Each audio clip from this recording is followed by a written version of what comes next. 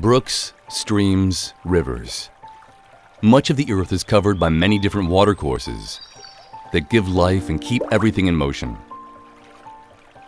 The water travels along here, for instance, and through here. It carries small passengers, big cargo loads, and also a lot of plastic waste. This waste adds up to an order of magnitude that has become a threat to life in the oceans. That's why we say the ocean starts here. Right here where we live. This is where the problem starts. But how can we solve it? We all can make a small contribution in everyday life. But for global solutions, we need to know more. We need to do research. We need to know more about waste pollution, where it happens, how the plastic components move along, and what impact they have on ecosystems and the climate. How many researchers does that require? A lot.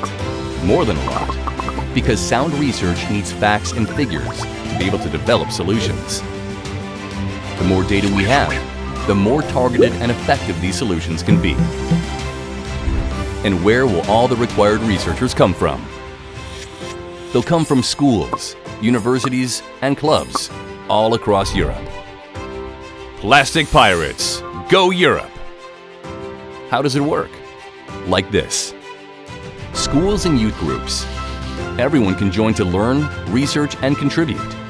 The Citizen Science Campaign, Plastic Pirates Go Europe, provides material and guidance and pools our efforts with water, marine, and climate research. But no one can do it alone. It's down to all of us. And that means we need you. What about the rivers in your town?